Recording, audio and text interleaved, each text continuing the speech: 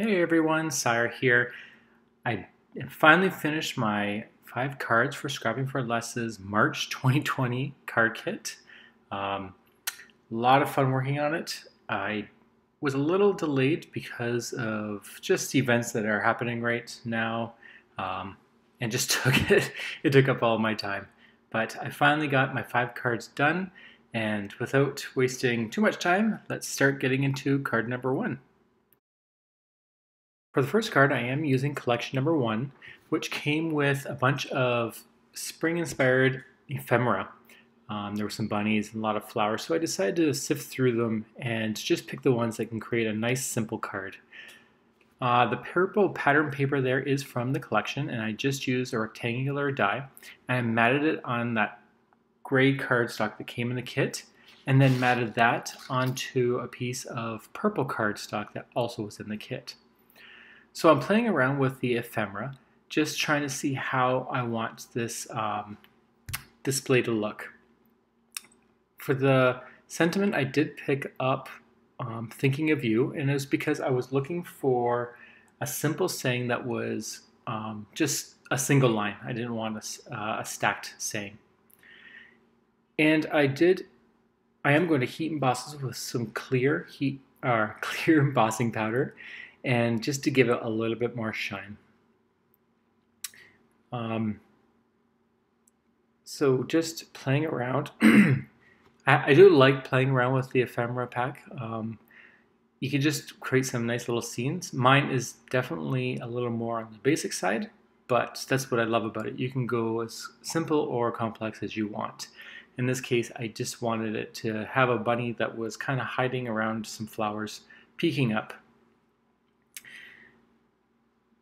this was actually going to be my Mother's Day card um, this year, but I decided to pick a different one, and you'll see it eventually in this video.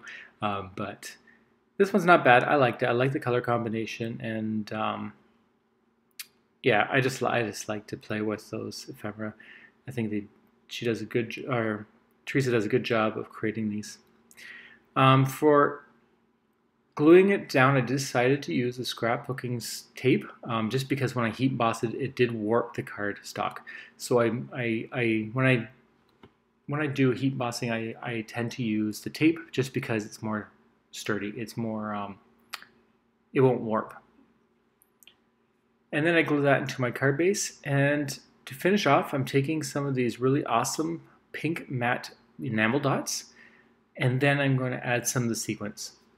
One thing I did notice about those enamel dots, even though they are absolutely awesome, um, they don't seem to be as sticky as the other ones. Um, at least for me, I've had it on numerous cards where they kind of fell off. Sorry about that. And I had to apply glue to them. Once you apply glue, then it was fine. Um, I just noticed that these ones were like that. So I just coated a bunch of sequins on it just to fill in the spots. And that's it for card number one. For card number two, I decided to take that circular stamp. This is from collection number two. And I'm just going to take some Memento ink. And the reason I'm doing that is because I am going to use my alcohol markers to color this one in. And of course, the MISTI is always helpful with something very detailed like this so that I can stamp it multiple times without it um, without it uh, making double ink lines, I guess you can say. you can you can ignore the butterflies on the left side. I was going to add some, but later on I decided not to do it. The markers that I'm using are Nuvo markers. I got them for Black Friday last year just to try them out and they, they're okay. They, they work. Um, I think I do like the Copics better, but these aren't too bad. And I did color them in different shades of pink, and then the glass I colored with one shade of very light blue. And then I'm just going to fill in the rest of it.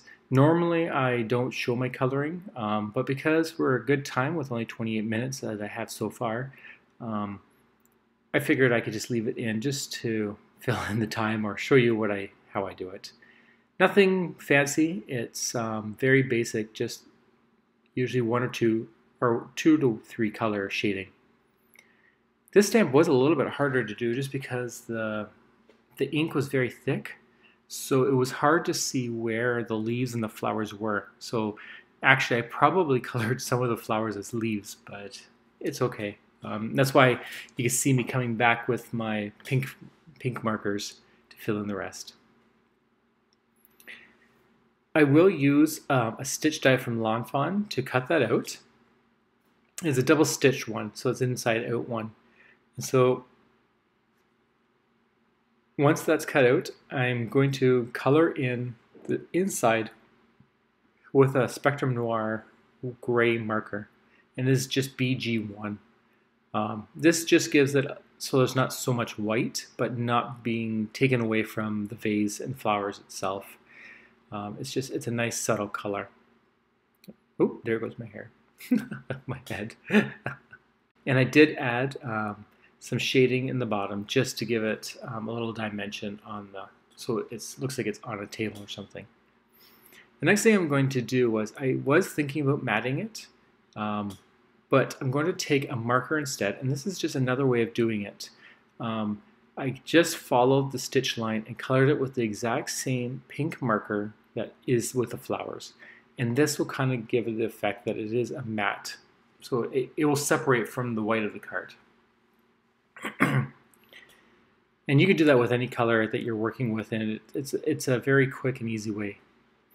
So this is a beautiful piece of paper, but it was too big. And what I decided to do was cut it all out. I'm going to fast forward this so you don't see it all, but I pretty much cut out all the pink flowers, the bows, and um, yeah, there we go. So you see the pile there, and I'm just finishing up with this one. I didn't actually use that one, and I, I saved it for later because I absolutely love that butterfly and that that flower. So it won't be on this card, but I did save it. And so what I did was I took one of the pattern papers that kind of match um, the color scheme of these flowers, and I'm going to die cut that. But first, I'm going to create a sentiment um, and this one is another thinking of you. And it's a two part. You have the banner, and then you can just line up that sentiment that's also in the pack and just stamp it right in the center there. It is very tight, so you don't have much wiggle room at all, um, but it it looks nice when you when you get it centered just perfectly.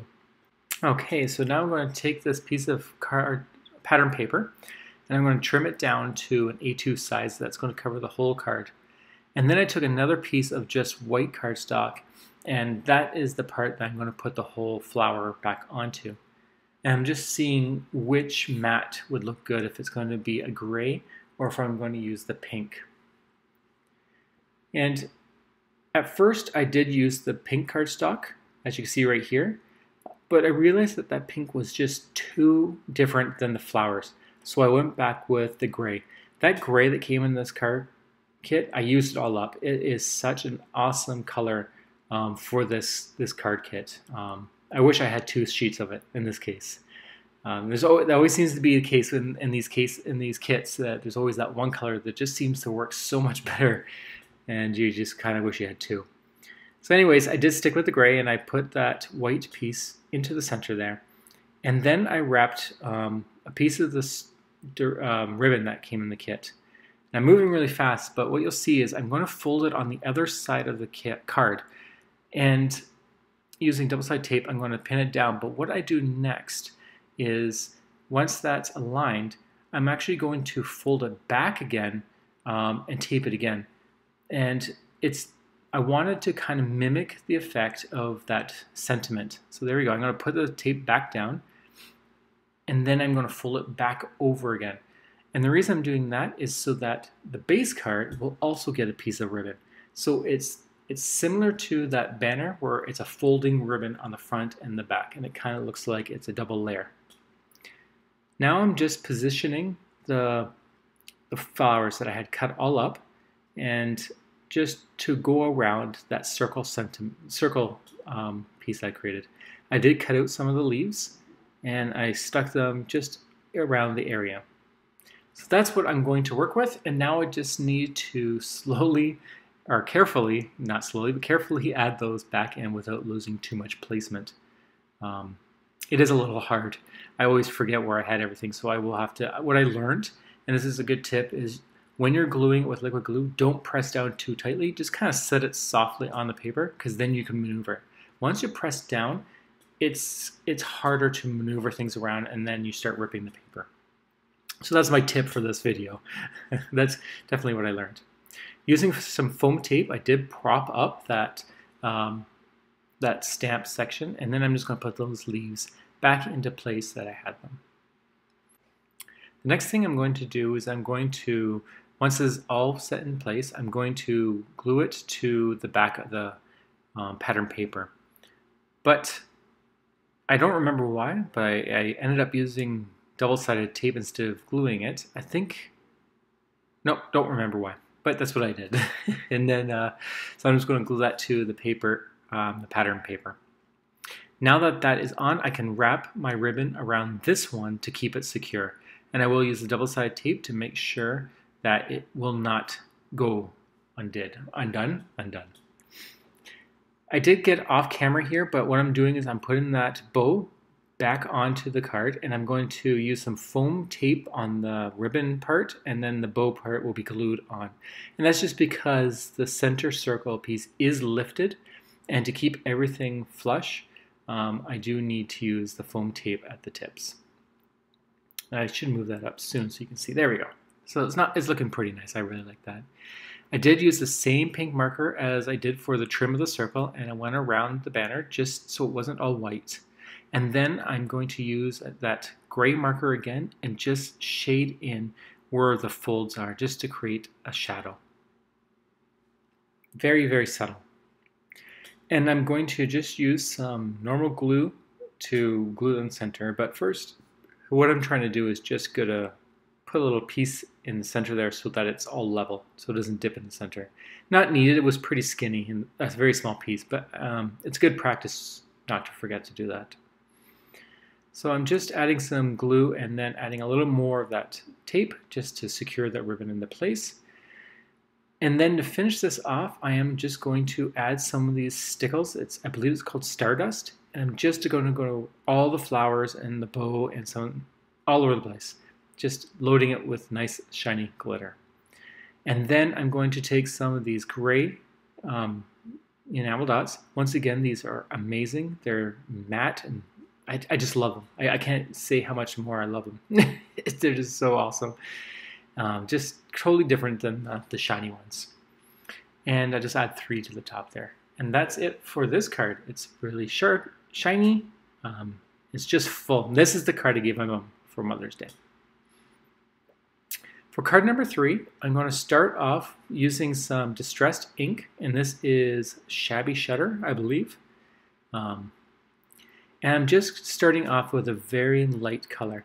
This card is inspired um, to be very simple, and when I opened up the collection for this kit, I knew exactly what I wanted to try to do. And it's very simple, and I absolutely just love the simplicity of it. Um, I will say that there is room for improvement, but I'm definitely happy with the overall. And so right now I'm just taking the sentiment, follow your dreams. And the reason I chose that one is because there is a butterfly in this kit and I wanted to use that butterfly with its little trail. But what I know, what you notice there is thumbs up.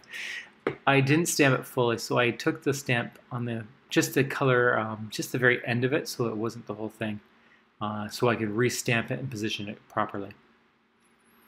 Um, if you didn't catch that, that's what happened. I am heat embossing this again with some clear embossing powder and just cleaning this up.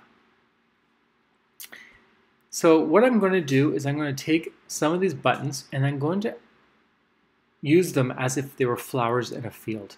So now you can understand why I put that light green in the in the back. I did use a stitch die um, and then I decided if I wanted to onto the color, but to keep it very simple, I'm just going to take that stitch die and just put it right onto the base. So it's white on white almost, other than the green on the bottom. And it's just a very clean, simple design.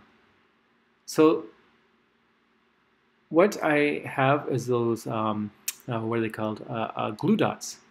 And then I can use those. They're amazing for buttons and such. And um, so I'm going to glue those on, and they're going to be the flowers in the field. And so I have four of them, and in this case the button was a little bit smaller, so I just cut that dot in, in half. And then I'm taking uh, a, pel, a pen, a gel pen, and drawing some stems and flat and leaves. If I had a really fine doodle marker, that would have been amazing. Um, but I don't have one, so my gel pen um, was all I had. But it just doesn't create such a clean line. But you can kind of see what I was trying to go for is just a little doodle. Then I added the butterfly with a little trail, and that's the following your dreams. Going back over the stem and the leaf just to create a darker outline so it's not so hidden, it's not so um, transparent on the grass. Then what I do is I'm going to take some of those blue enamel dots and then I'm going to add them as if they were more flowers in a field, some nice blue ones. Then I take the ink again and I realize it just wasn't dark enough, so I want to start just using a finger dauber and just adding more color, just kind of creating um, layers of color. And that one corner is a little bit too dark. Um, you can kind of see where I, I, made a trail, but you know, it, it's okay. it's okay. It, I will move on. It's it's okay. I like it. Then I'm going to get back into those alcohol markers, but this time I have some. I can't pronounce it, but they are Copic markers. It's this the Ciao ones, Ciao ones. And I'm just going to color in, trying to mimic the enamel dots and the button colors, and just fill it in. That butterfly is very thick lines, so you can't really see it from afar, but if you look up closely, you can see the blues, pinks, and such. And that's that card. Very simple. I absolutely love it. For card number four, I am following um, the card sketch that came with the kit. Um, you can go to Scrapping for Less and get their download section, and you can find what sketches they provide for each kit. And this one was um, my favorite thing sketch. So I am following it fairly closely with the border that is used from Doodlebug's lace borders. And then the pattern paper is from the collection four, and then the green, the mint green, is from the card kit. I cut another circle using the um, Lawn Fawn circle stitch die.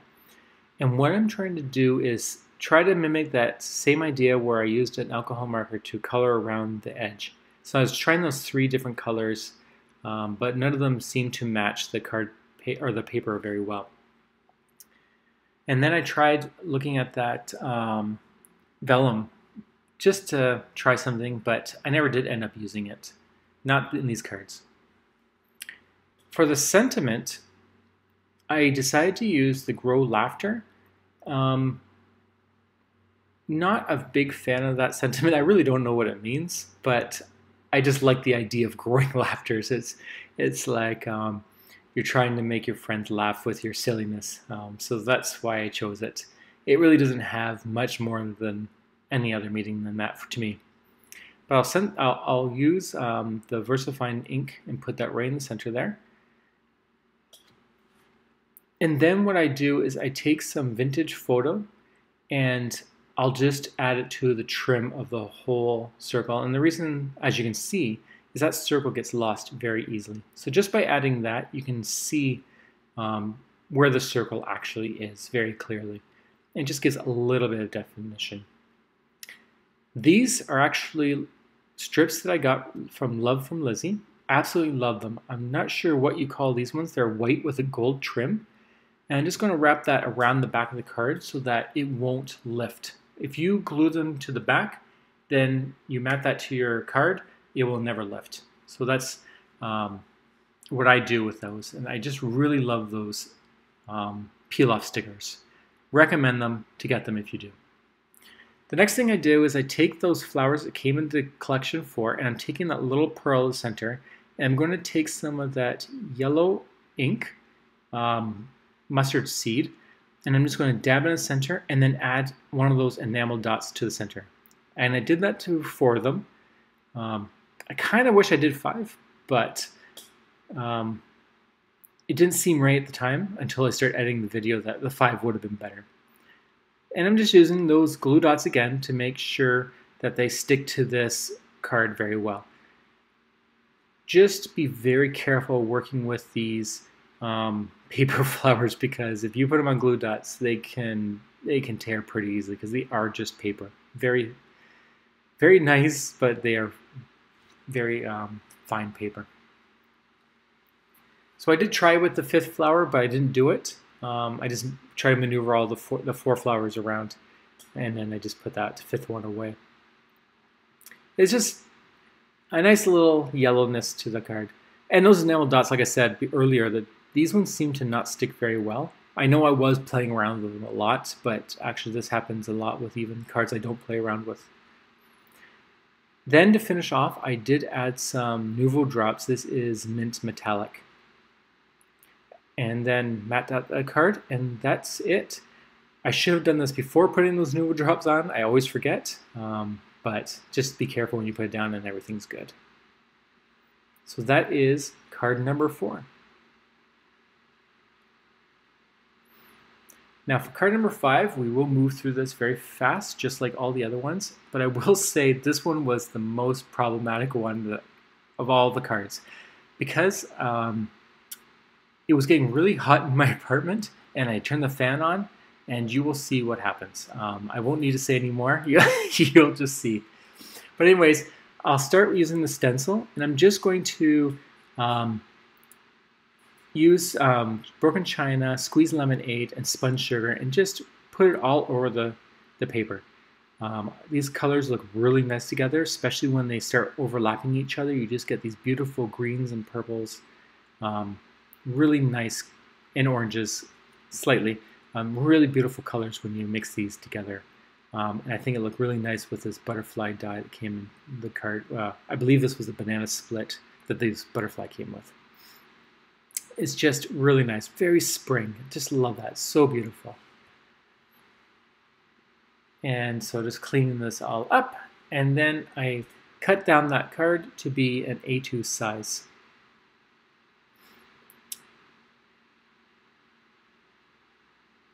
Now I'm just choosing the colors that I want. Um, I am thinking about matting it um, and just playing around with the green, this, the gray, and the pink, just seeing which one I like the best.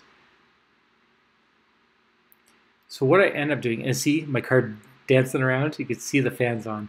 So what I ended up doing was I will take the pink and the gray um, and I'm going to mat them. I want the gray to be a pretty big border. I think it's a quarter of an inch of a border. And then I want almost a 16th of an inch of the pink.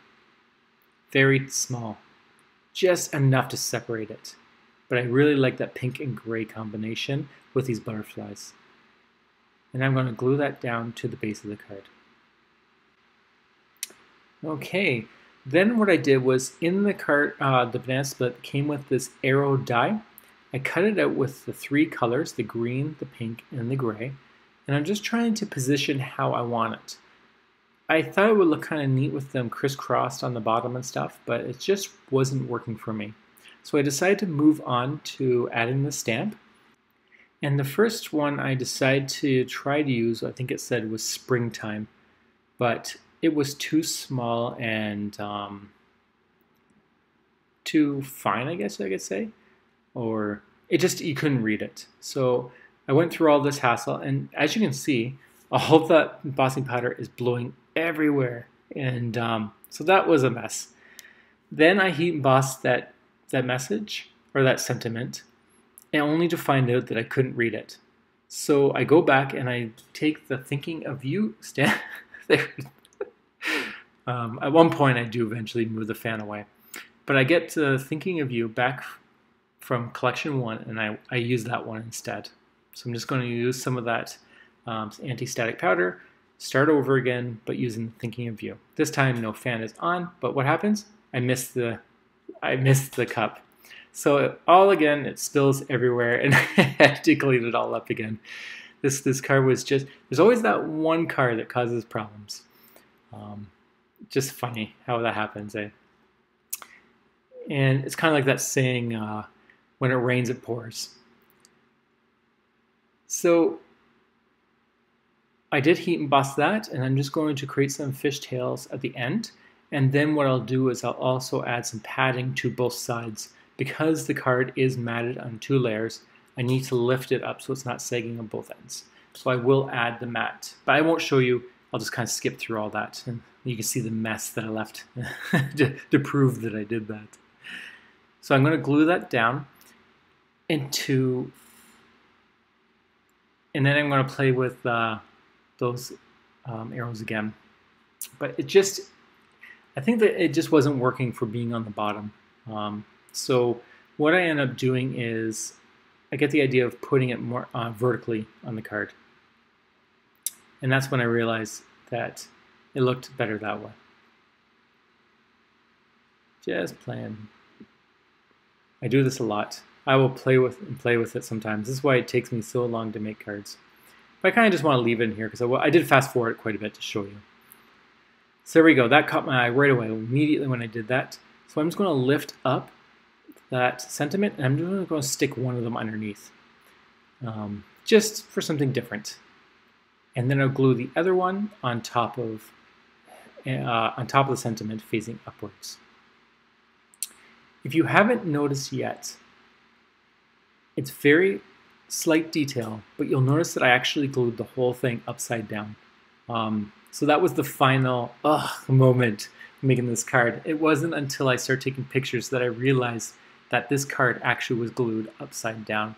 And I had to remove the whole thing and um, I actually ripped the card. So I had to do a little paper surgery to kind of make it look good again for the photos because I forgot to take a photo, uh, the final photo, before dismantling it.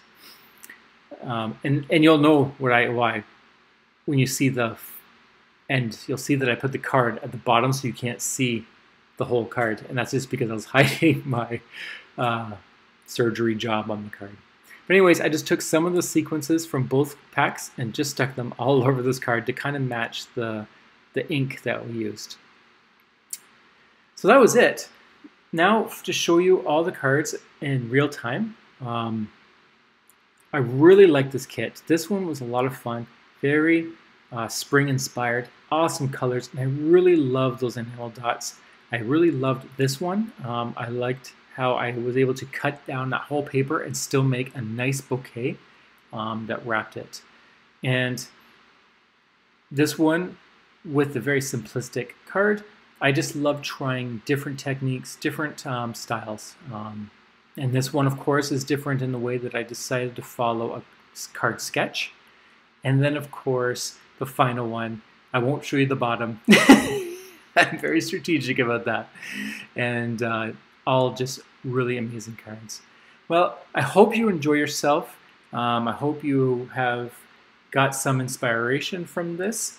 Um, I had a lot of fun working with it, lots of fun elements in it, and I know I can make a lot more fun cards with this kit. Thank you so much for joining me, and I hope you have a wonderful day, and I'll talk to you guys later. See you.